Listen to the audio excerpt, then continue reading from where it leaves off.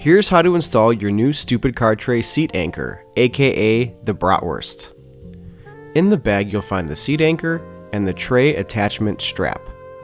You'll notice that on the tray attachment strap, one end is a little bit larger than the other end. That flap is what you're going to install into your tray.